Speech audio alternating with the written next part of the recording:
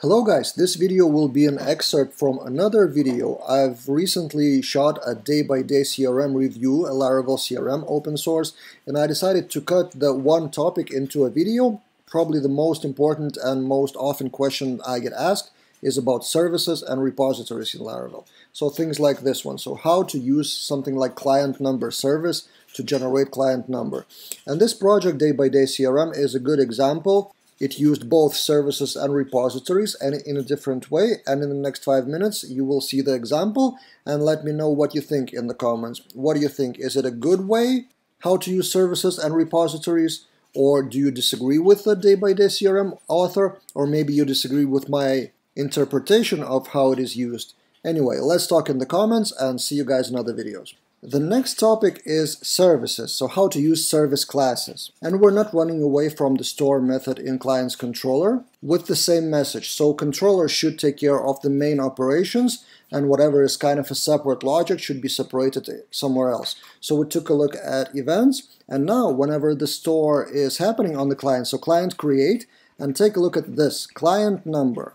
So there is some kind of a logic of client number which is kind of auto increment but not exactly. And there is a class that is responsible for exactly that. So there is client number service. If we click that, there's app services client number client number service. And what it is doing is setting next client number, probably somewhere in the settings. I'm not sure whether it's in database or in some kind of config. Oh, it is in the settings database table, probably. This is a model, I assume. Yes, it is a model, so it is saved in the database and incremented.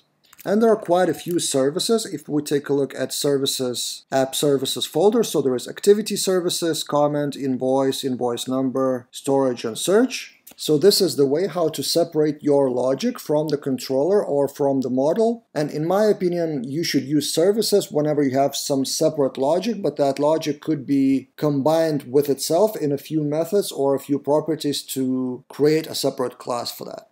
Another interesting topic are repositories, so repository classes.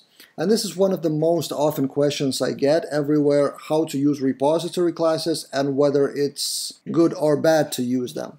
And this project does use them, and let's see how exactly.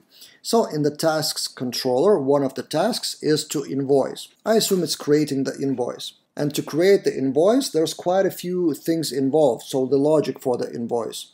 So there was a separate class created for that, this invoices invoice. So what is this invoices? This invoices is a protected property of a controller which is set in the constructor and it is an invoice repository contract.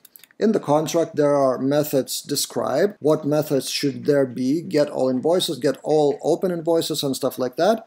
And then there is actual repository, invoice repository, which implements those methods. So repositories are typically used when there is some bigger logic around an eloquent model or around database table. So in this case it's invoices, so this is the invoice model, but there are more operations involved around invoices. So finding something, invoicing, creating the invoice lines, creating the API integrations, book the invoice, set the status and all of that. And that should be somewhere. And for that, there could be a service so it's a tricky question, what is the difference between service and repository? Usually a repository is tied to one model or one database table, and service is more abstract to whatever topic it is. It may be not necessarily the database table at all. So in this case, invoice repository is tied to invoices, and all the services are kind of outside database table in general.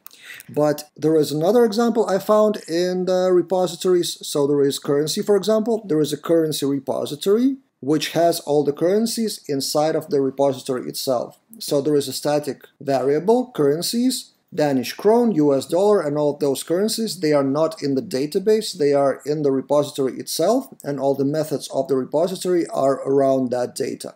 So default currency, get the code, get the value, get the symbol, get precision, and all of that. All those operations look like they would come from the database table, but instead of database table, the actual data is inside of the repository itself. I haven't seen that behavior in any projects in my past, but it's a pretty logical thing to do. So that's another example of a repository.